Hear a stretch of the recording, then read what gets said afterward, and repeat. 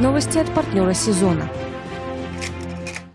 Россельхозбанк запускает проект по бесплатной подготовке кадров для сельского хозяйства. 20 октября начнется обучение в школе фермера. Образовательный проект запускается этой осенью почти в половине регионов страны. Он предполагает бесплатное обучение. Те, кто уже занимается сельхозпроизводством, смогут расширить свои компетенции, а новички узнать, как создавать и развивать бизнес в этой сфере. Финансирует школу Россельхозбанк. Занятия проводят преподаватели ведущих аграрных вузов и успешные сельхозпроизводители.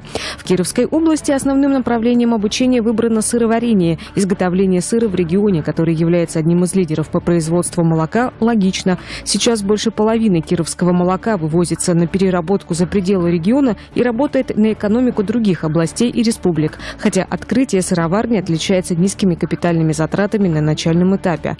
Как организовать производство, найти поставщиков сырья, наладить сбыт готового продукта, продвигать его и грамотно организовать экономику предприятия. И этому научат кировчан в школе фермера.